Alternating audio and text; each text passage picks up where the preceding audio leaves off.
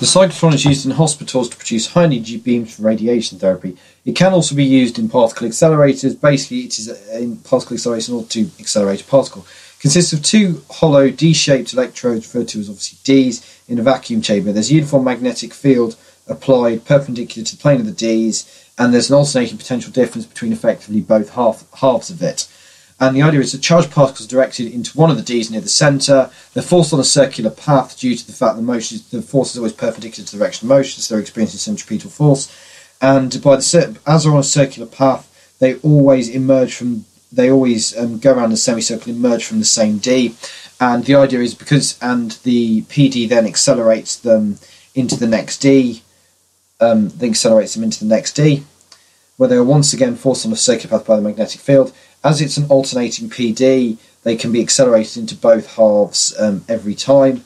On emerging from the D, the idea is, is that the voltage reverses again and keeps accelerating the particle, therefore meaning the radius constantly increases, and therefore the idea is when the particle reaches to the end, it is travelling at its maximum speed.